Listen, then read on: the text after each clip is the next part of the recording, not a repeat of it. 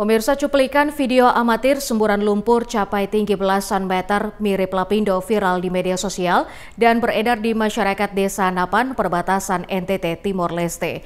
Video semburan lumpur sempat membuat panik warga Desa Napan di Kecamatan Bikomi Utara, Kabupaten Timur Tengah Utara.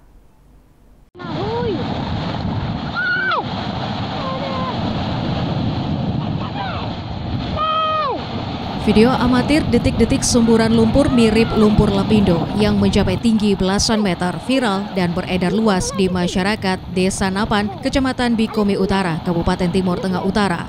Viralnya video tersebut sempat membuat panik warga Desa Napan. Mereka khawatir bila luapan lumpur terus mengalir hingga pemukiman penduduk. Camat Bikomi Utara membenarkan fenomena alam tersebut, namun dirinya menegaskan bukan terjadi di wilayah Indonesia, tetapi di wilayah Timur Leste yang berada pada jarak 100 meter dari kantor camat.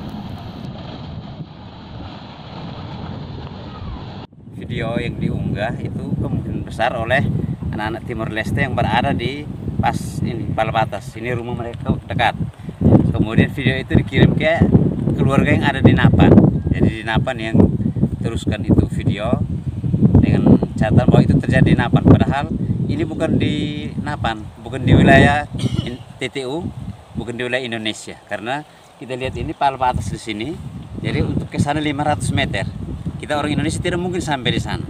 Jadi kejadian itu benar-benar terjadi tapi bukan di wilayah kita Adapun di wilayah Indonesia tak jauh dari kantor camat setempat, terdapat empat titik semburan lumpur yang kerap mengeluarkan bunyi gemuruh, namun dengan luapan yang lebih sedikit. Kalau di Indonesia ada juga? Indonesia ada juga, tapi beda karena yang di Timur Leste itu longsor, jadinya kolam, kolam lumpur panas. Jadi ketika dia ini dia meletus, meletus ada ada gelombang lumpur panas yang besar. Kalau, di wilayah kita Indonesia? Kalau di wilayah Indonesia itu kalau mau bunyi itu karena dia dalam bentuknya bukit, yeah. ada hmm. lubang di atas, lubangnya kecil. Jadi dia kalau sumur itu gumpalan lumpur panas yang padat itu keluar dan bunyi, bunyinya semacam bunyi meriam. Kalau letak Indonesia punya itu di bagian mana? Di depan kantor camat di Komi Utara ada, di belakang kantor camat di Komi Utara juga ada.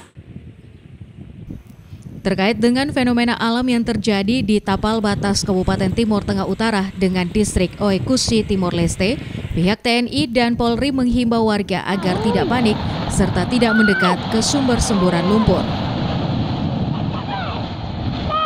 Dari Timur Tengah Utara, Sefnat Besi, Tim iNews melaporkan.